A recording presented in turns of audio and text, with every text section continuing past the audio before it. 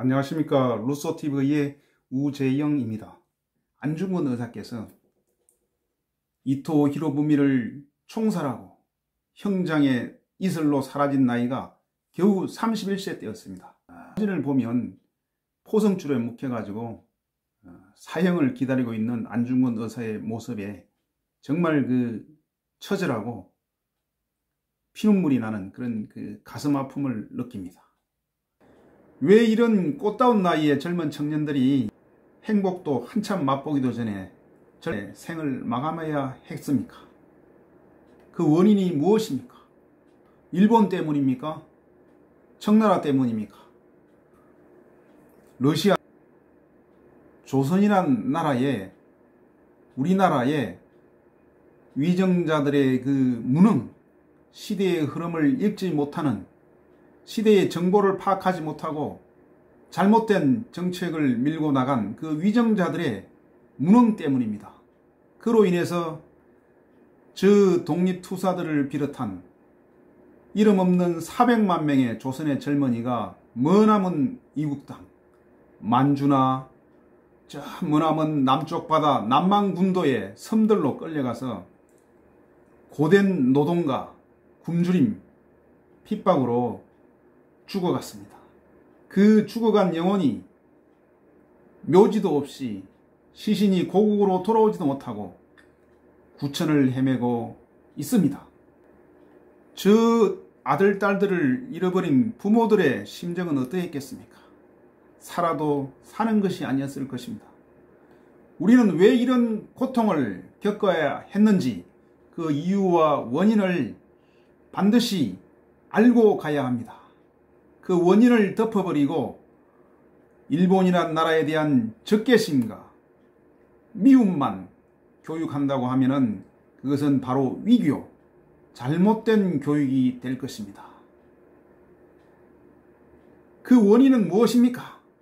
저는 한마디로 정의하면은 산업혁명의 물결, 서양 유럽에서 시작된 산업혁명의 그 물결을 철저하게 무시하고 외면하고 쇄국으로 일관했기 때문이라고 생각합니다. 앞서간 서양 기술을 빨리 받아들여야 되는데 우리나라는 위정척사 운동을 했습니다. 위정척사비가 제 고향에도 있는 것을 봤습니다. 서양 오랑캐들과 싸우지 않는 것은 곧 매국을 하는 매국노가 되는 길이다. 뭐 이런 내용의 비가 써여 있었는데요. 정말 이 서양인들이 보면 정말 기가 차고 웃을 일입니다. 우리는 저 서양 기술을 애면하고 내부적으로는 교육도 엄청나게 했습니다. 그 수많은 그 지방에 향교가 있고요. 서원이 있습니다.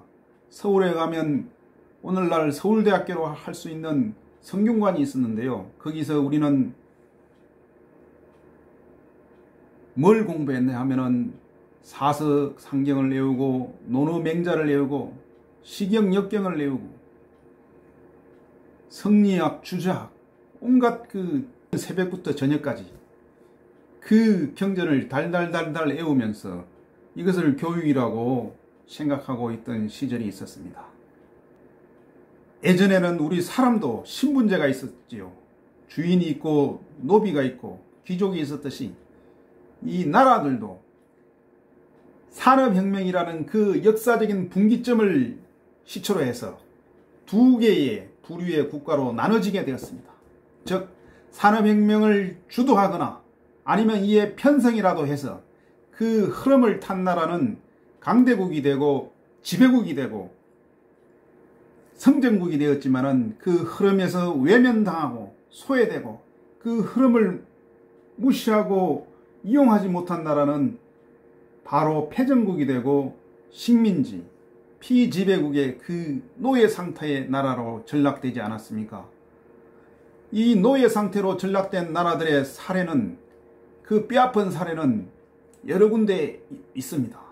제일 먼저 보시면 어, 벨기에의 식민지가 되었던 콩고라는 나라가 있었습니다. 이 나라는 식민지 이전에 2천만 명이 넘는 나라였지만 인구가 식민 지배가 끝날 때쯤에는 인구가 천만 명으로 줄었습니다. 그 이유가 뭐냐면 벨기에에서 그 원주민들을 고물을 채취하는 그런 이제 고된 노동을 시키고 목표량을 채우지 못하면 채찍질을 하고 이렇게 했기 때문에 그 고통이 너무 싫어서 고무나무를 자르는 콩고인들이 손목을 스스로 잘라가지고 이렇게 장애인이 돼버렸습니다. 아이들은 물론이고 여성들까지 손목이 다 잘려져 나가가지고 식민지배가 끝날 때는 일을 못하게 되고 일을 못하게 되니까 가난해지고 그래서 나중에는 다 굶어 죽었다고 하지 않습니까? 그죠? 또 인도라는 나라도 마찬가지입니다. 인도는 영국의 식민지배를 받았는데 그 목화를 재배했습니다. 당시 영국에서 나오는 직물은 양틀로 만든 직물이었는데 촉감이 아주 까칠까칠했는데 예, 목화를 재배해서 나온 면은 아주 부드럽고 촉감이 좋았기 때문에 영국에서는 인도에다가 면직물 공장을 지어가지고 인도 원주민들을 값싼 노예처럼 부리면서 막대한 돈을 벌어들였습니다. 그러나 식민지배가 끝나고 철수할 때에는 저 공장에서 일하던 노동자들이 여기서 배운 기술을 바탕으로 자기들이 자체적으로 공장을 만들어서 면직물을 수출하게 되면 영국이란 나라 그 수출 시장에 방해가 될 것을 우려해서 모든 공장의 기계들은 다 가져가거나 아, 불지르면서 그 노동자들의 팔, 손목을 다 잘라버렸다고 합니다. 이러한 그 잔인함으로 인해서 수많은 사람들이 장애인이 되고 굶어 죽는 이런 시절이 있었는데 이것이 바로 식민지배, 식민지 착취의 현실 바로 그런 것이었습니다. 우리도 마찬가지 아닙니까? 조선의 청년들이 칙령으로 끌려가서 노동에 시달리고 젊은 여자들이 정신대로 끌려가서 그 많은 고초를 겪지 않았습니까?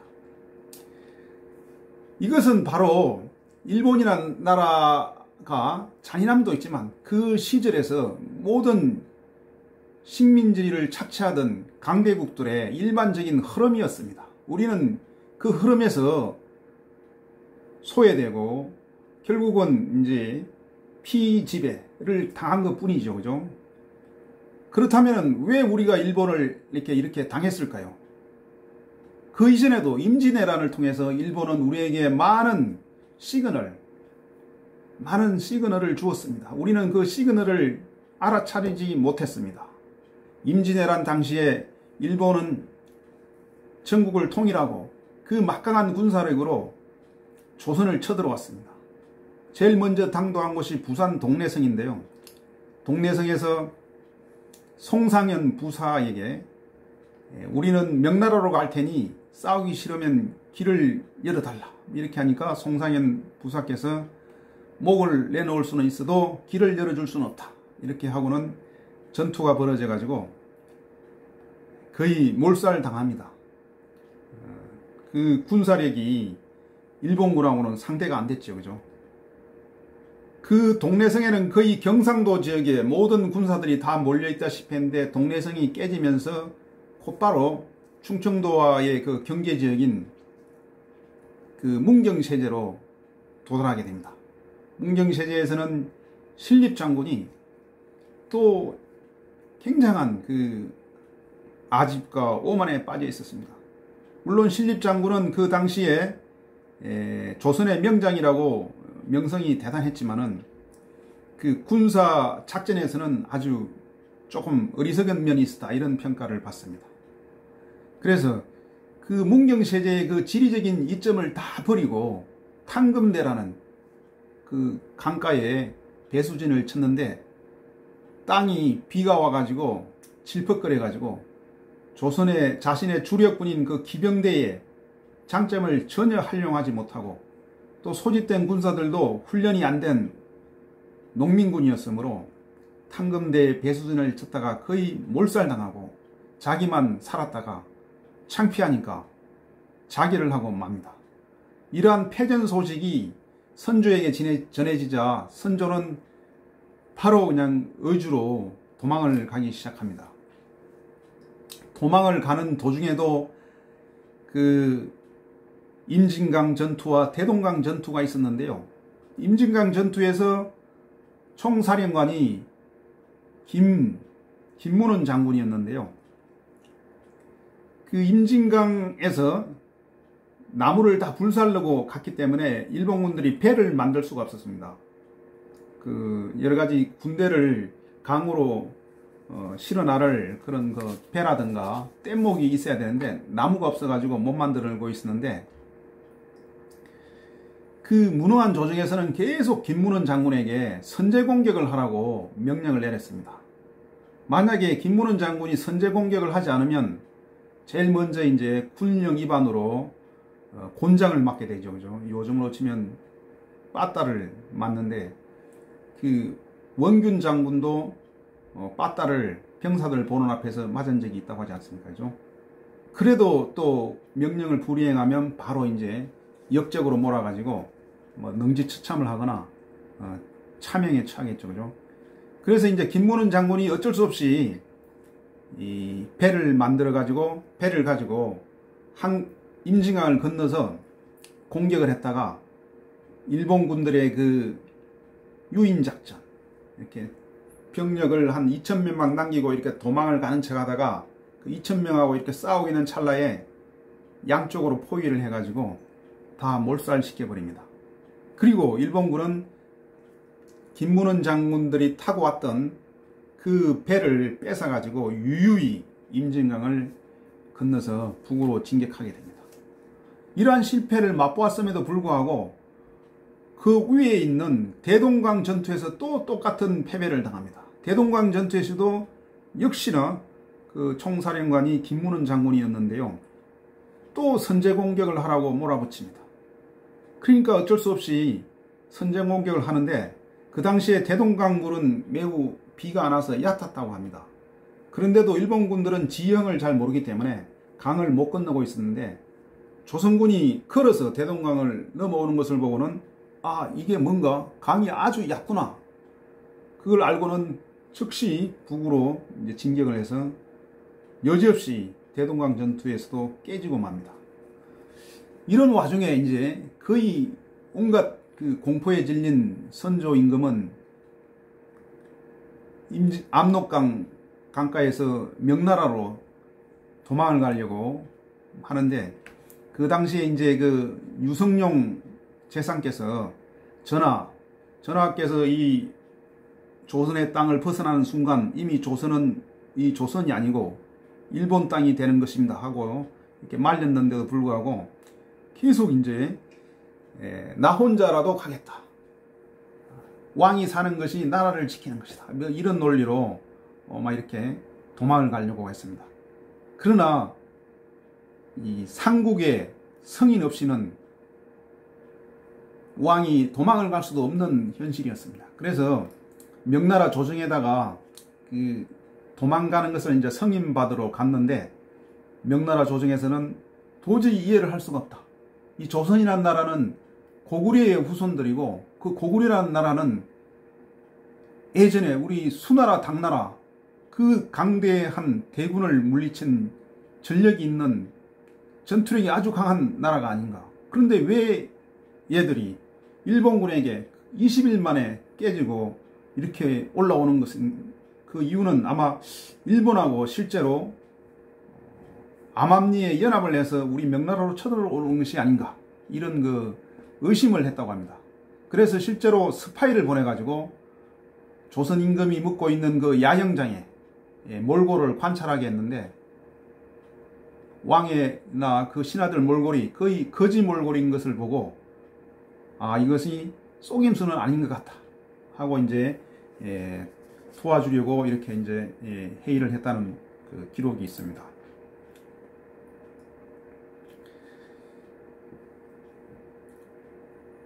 그 신립 장군이요 예, 아주 성능이 우수한 총을 만들어 가지고 있다. 이거 하면서 총의 실, 실물을 보여줬다고 합니다.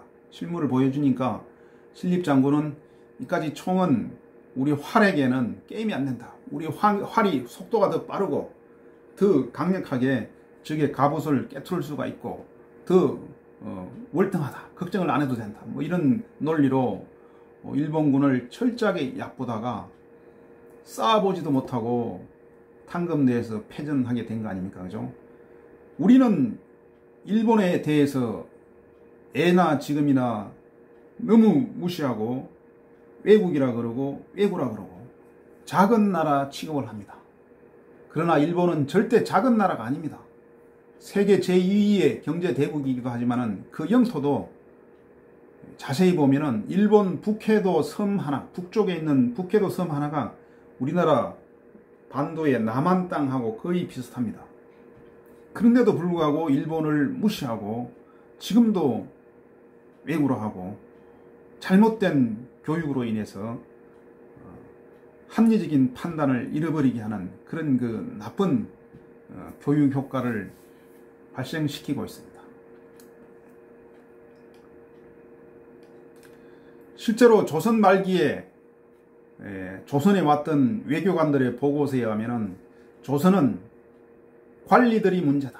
이 관리들이야말로 조선의 몰락과 가난을 불러온 가장 중요한 원인이 되고 있다. 이들로 인해서 조선 백성들은 노동의욕을 상실하고 이윤 추구 의욕이 상실되고 모든 사람이 쇠락하여 질식하고 세계에서 가장 가난한 나라가 되어가고 있다. 이런 보고서를 했다고 합니다. 철저하게 객관적으로 맞는 말인데요. 이 조선은 산업공상, 농본, 억상 정책을 펴는 나라였습니다. 농업을 근본으로 하되 예, 상업을 억제하고 왜냐하면 조선의 그 양반들은 장사를 하는 상인들은 일을 하기가 싫어가지고 일은 안 하고 사람을 속여서 이윤을 획득하는 아주 그 사악한 백성으로 보고 거의 천민 취급했던 것입니다. 유통이라는 그 가치, 유통과 분배의 가치를 모르는 그런 그 무지에서 오는 그 정도. 또 기술자를 철저하게 무시했습니다.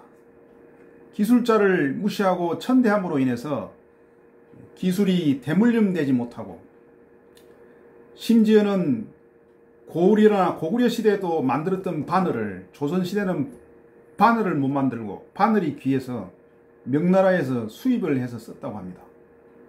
아니 신라 시대에는 그 화려한 금관을 만든 나라가 작은 바늘 하나를 못 만드는 그런 지경으로 온 것은 바로 산업공상의 그런 잘못된 정책인 것입니다. 경제에서 공업과 상업이 발전의 원동력이고 핵심 동력은인데 이 두 가지를 갖다가 철저하게 짓밟아버리고 무시함으로 인해서 어, 조선이 몰락을 가져온 것입니다. 그러면 농업을 우선으로 했으면 조선 백성들은 배라도 부르게 살았습니까? 전신에 굶주렸습니다. 비가 조금만 오면은 강이 불어났습니다. 강이 불어난 이유는 뗄감이 없어서 산에 나무를 해서 쓰고 산은 다 벌거숭이 산이 되니까 비가 오면 그 모래가 강으로 몰려들어서 수면이 높아지고 수면이 높아지니까 홍수가 나면 다 넘쳐가지고 논밭으로 몰려들었습니다. 그리고 또 비가 조금만 안 오면 가뭄이 들었습니다. 왜냐하면 보도 없고 저수지도 없어가지고 관계 수료가 전무한 상태이기 때문에 예, 하늘만 바라보는 그런 지경이 되었죠. 그래서 비가 조금만 안 오면 임금은 임금대로 기후제를 지내고 고을 수령들은 수령들대로 기후제를 지내고 이러한 그 아프리카 토인보다도 못한 그런 미기한 나라가 조선이었습니다. 그 와중에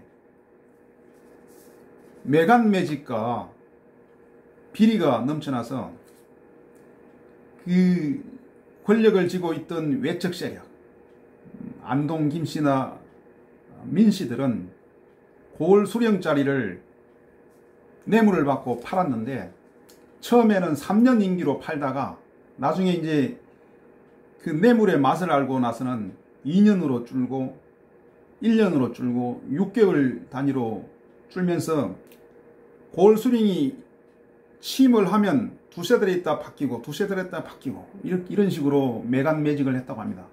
나중에 이 매간 매직이 극에 따라서 서울시장짜리인 한선 판륜을 갖다가 44년 동안 2주에 한 번씩 갈아치우면서 매간 매직을 하고 또 돈으로 이 관직을 산 사람들은 양반이랍시고 모든 일을 안 하고 세금도 안 내는 이러한 그 망국으로 갔기 때문에 외국의 외교관들이 이러한 현실을 보고 이런 보고서를 쓴 것이 아니겠습니까? 그죠? 다음에는 조금 더 구체적으로 조선의 멸망 원인에 대해서 살펴보도록 하겠습니다.